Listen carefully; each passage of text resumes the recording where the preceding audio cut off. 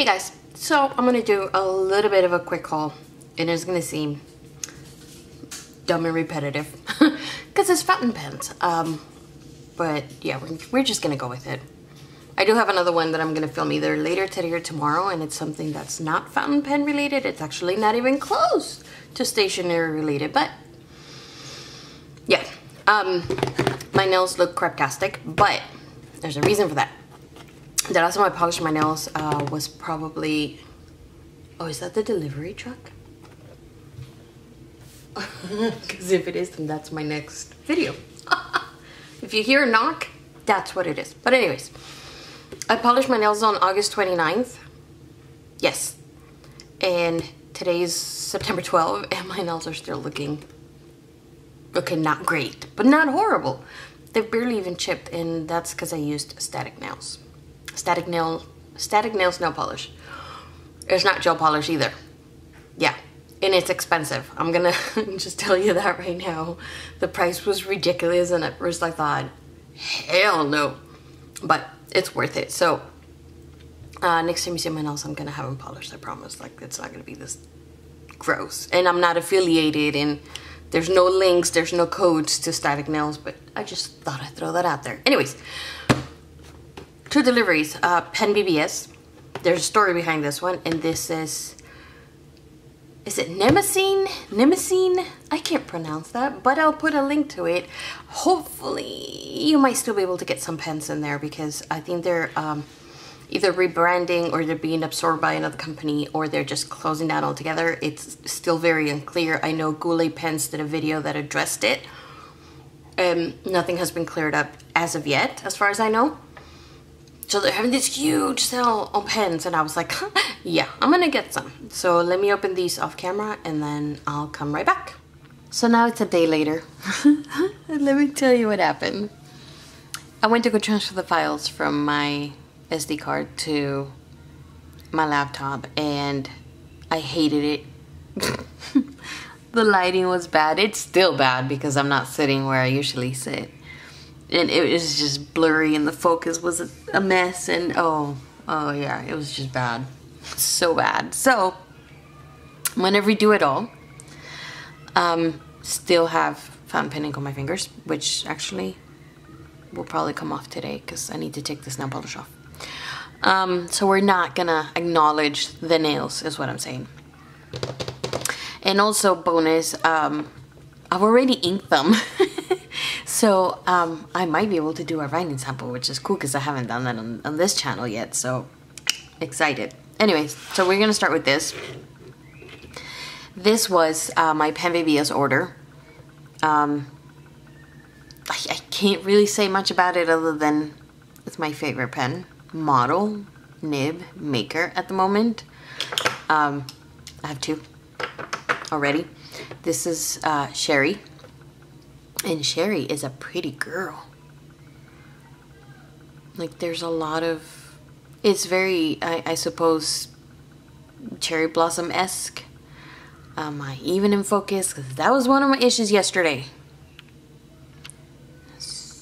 So it's very pretty. I have it inked with, oh, what's it called? Noodlers.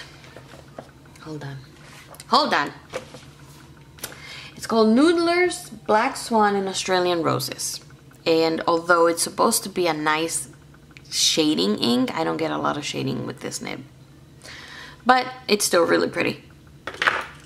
Excuse me. If you'll know, like I said in my last video, I have issues with gloom in the nib.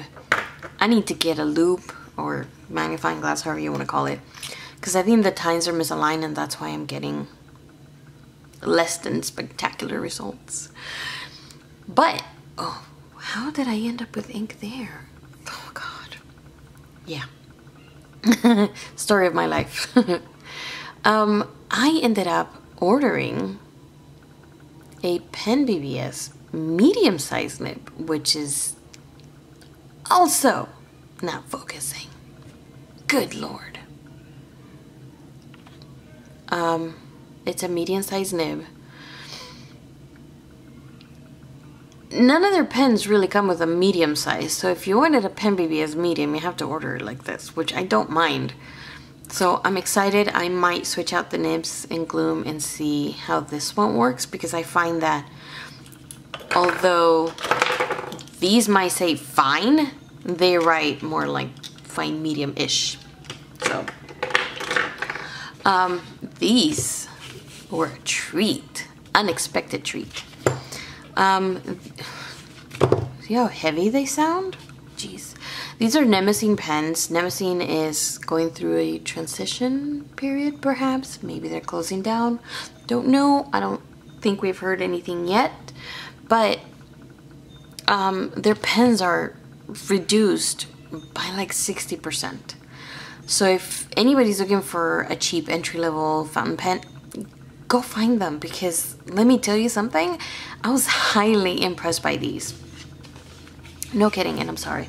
There's noise outside, but you know how that goes. This is, um, what is this one called? This is the Nemosine Neutrino Graphite. Um, it is a 1.1 stub nib because I like my stub nibs. And like I said, I've already inked them so you can, ow, okay, I just hurt my elbow, sorry so you can see how um, it's not focusing at all. like the nib is already pretty like stained, not stained, but uh, it's the ink. It's definitely the ink. And this is uh, inked with Noodler's 54th Massachusetts, I think it's what it's called. A friend of mine sent me a sample. So really, really sturdy pen. This is really nice very sleek, very like classy. This one, however, this sucker, oh man. When I opened this, I, when I pulled it out, I was like impressed. This is the Nemosine Fission and I got it in the 0.6 stub nib, which I have never tried before. And they have a 0.8 stub nib and I'm thinking maybe I want to buy the 0.8 stub nib. And I have this yellow one that I'm like, but I digress. This is heavy. This is a heavy pen, you guys. It's... I can't think of another pen that I have that is as heavy as this. Maybe... I lie. Where is it? Um, this is just one I got from Etsy a couple of days ago, a few days ago, and this is... No? This is still heavier. Maybe like my Jinhao X750? Let me see. Nope, this is still heavier. So it's pretty heavy. Um, it's beautiful. It's the nickel one. It's absolutely beautiful. This is definitely a 0.6, not 0.6, size 6 nib, but the detail on it is so dang pretty. On the nib, it's just gorgeous. I love this. It, it posts securely if you screw it. Is it top heavy? Not really. It's very comfortable on the hand. I, I have no bad things to say about this pen, you guys. None. So, that's like super exciting. Um, let's see if I can get a sample going, writing sample going.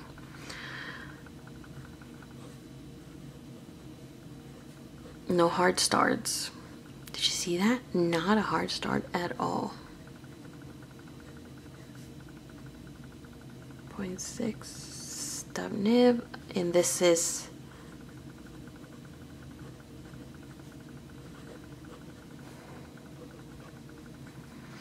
Robert Oster. Hmm.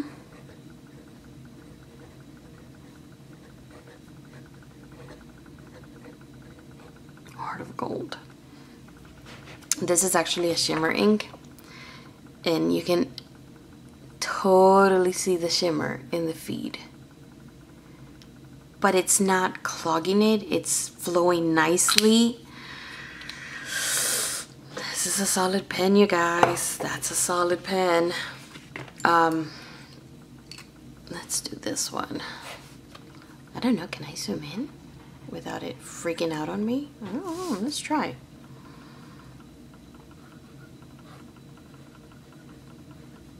I don't know if you can hear it. It has um, It sounds like it has feedback, but it really doesn't. Oh, this is a 1.1 stub.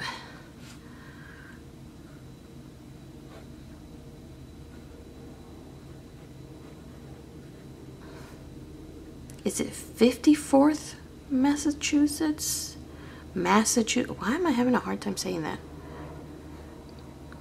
But do you see this? It doesn't skip at all. I wonder how much how much flex it has. I haven't flexed them yet. I kind of don't want to because I don't want to ruin the nibs because I'm afraid that I'm going to ruin the nibs and then I'm not going to have any more Nemosine nibs and that's going to be an issue. this is, uh,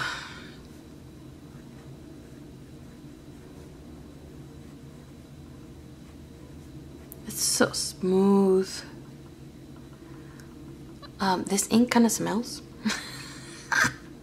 you guys didn't know this. Noodler's ink has a scent to it and it's not like yummy. It's kind of inky. Does that make sense? Oh, what was this? Noodlers? Black Swan and Australian Roses? Yes. Um, as you can see, there's also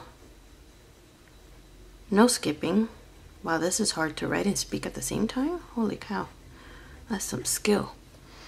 Um, there's no skipping. It writes, it's like freaking butter. This nib is insane. Um, seriously, these pens are just the best. I don't think you can see the shimmer in Heart of Gold. You're not going to be able to see it, but it's there. It's a beautiful color. This right here, this combo, oh, yes, I am loving it. So, there you go. That's my little haul on those three pens. Get your hands on some of these. I'm going to put the website below. Trust me. Oh, totally worth it. Um, I have an ink coming later today. I have um, I have another haul that I'm gonna post after this, but like I said before, it's I don't know if I said it before, it's not stationary or fountain pen related because yeah, this fountain pen thing is real, you guys. This obsession is real. Um, I don't know what kind of video I'm gonna do after that. So if you have any ideas, let me know. Oh, I might do um, I'm traveling soon, so I might do a setup of my travel journal. Maybe. I have no idea. I have no, I seriously have no idea. I'm like the worst YouTuber ever. I have no idea. But anyways, um, if you guys have any questions, let me know. Put it all on there. I will at some point get to it. Not that there's a lot of stuff going on on there. But there you have it. So I will see you guys later. Bye.